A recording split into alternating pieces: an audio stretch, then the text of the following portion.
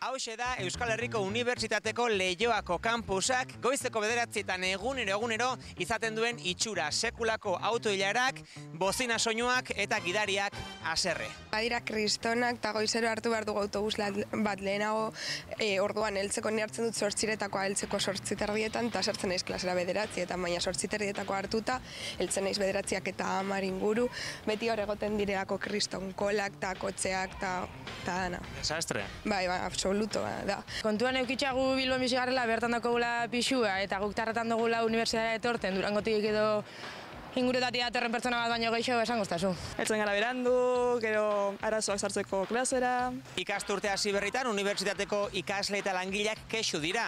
Ordu erdi bino gehiago pasatzen dute autobarrenean, orduko amar kilometroan mugituz. Bizkaiko diputazioak autobus zerbitzuak areagotu ditu bino ez da nahikoa oraindik ere bi kilometro inguruko auto ilarak sortzen dira egunero. Kriston kola sortzen da, eta nik uste dut, egin marko dutela, igual, beste bideren bat sartzeko edo zeo zer konpondu bestela jendeak ditu arazoak sartzeko klasera, heltzeko puntual. kola horiek pixkat inevitalia dira, orduan, ba, bueno, ba, aguanta bain gara. Egunero amalau mila lagumino gehiago ailegatzen da Euskal Herriko Unibertsitatearen Bizkaiko kampus honetara. Ideia bat egin ezazuen, mungia bezalako herri bat, goiz batez ustu eta berriz betetzea bezalakoa da.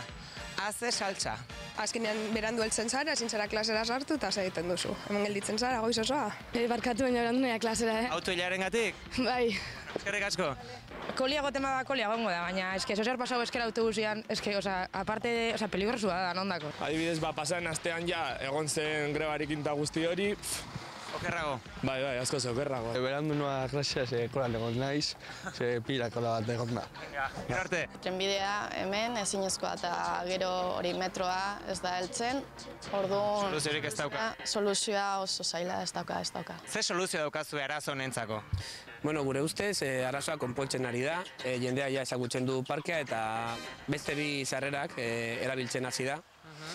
Eta, bueno, zuek ikusi duzuen bezala, baina kotxeak ez dira gelditzen, astirago etortzen dira, baina hori e, gertatzen da bigoko sarrera guztietan. Ikusi behar arazoa lehen bailen konpontzen den egia dena da, puntako orduetatik aparte, nahiko trafiko lasaia dela hemen, eta gu, baguzi. Leioatik, Joseba Lagarai, Euskal Herria zuzenean.